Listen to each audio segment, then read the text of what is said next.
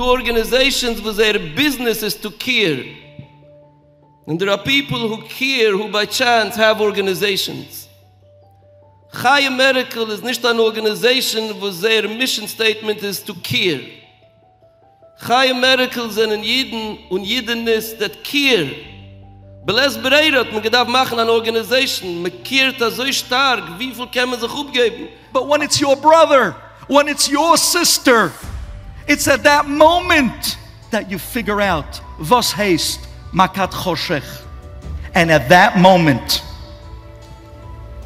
when a person gets a phone call and they find out that their world just came to a halt, suddenly they find themselves so broken and lonely.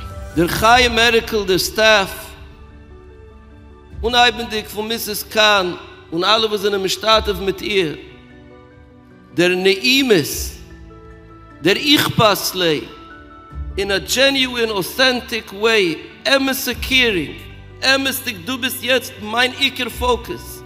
Ich lebe jetzt dich, ich trage dich, ich communicate dich, ich utem dich. Ich hab schon gesehen, Jets haben sich, Ambulances.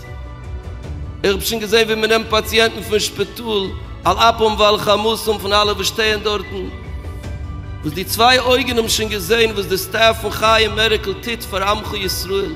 So the Chaim organization is unbelievable. These people work not 24 7, 25 7, 365 days a year.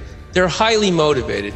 I had many conversations with them about neurosurgical and neurological conditions. They know more than I do.